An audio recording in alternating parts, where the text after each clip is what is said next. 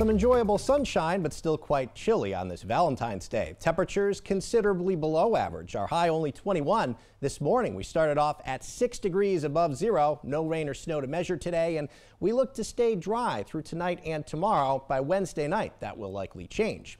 Temperatures now across our local area, primarily in the lower 20s. We're 22 degrees in Delphos. It's 23 in Bluffton and 23 also as we look southward toward Wapakoneta. Some clouds have moved back in after we enjoyed several sunny hours, but these clouds aren't going to cause any trouble this evening and they should break up overnight.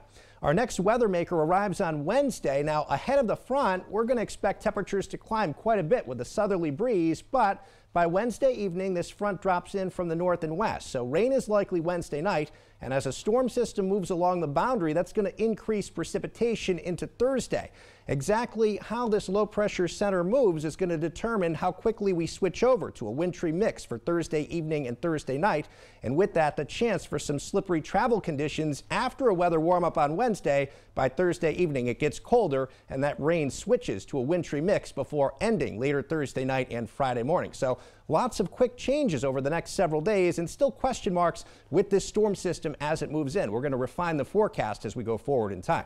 Our skycast close to home this evening, partly cloudy. Those clouds should begin to break up by later on. Late tonight, scattered cloud cover, but we stay precipitation free. Clouds and some peeks of sunshine tomorrow. As the wind turns around to the south, we are going to warm up. We really notice the weather warm up for Wednesday. Even with mostly cloudy skies, temperatures are going to spike into the 50s as the wind increases as well. Wednesday night, remember that cold front begins to approach, so some rain breaks out, and rain looks likely for much of the day on Thursday before colder air returns. Thursday evening, the pink on the map showing that wintry mix, a potential of snow, sleet, and freezing rain. Likely the precipitation ends as a period of snow Thursday night before drier and colder conditions settle in for our Friday. Now, it's too early to talk snowfall accumulation, but plan on some slippery travel for Thursday evening or Thursday night, at least that possibility. Also, with this system, quite a bit of precipitation, rain and melted snow and sleet, upwards of an inch and a half. That could mean some minor flooding for Thursday. We're going to watch that possibility as well.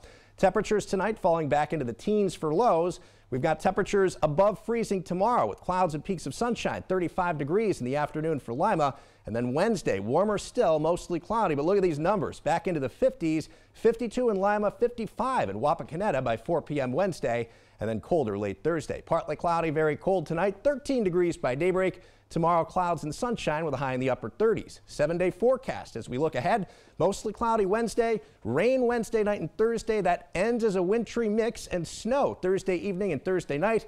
Cold on Friday, but we're mild again by early next week, 40s and 50s Sunday and Monday. Katie.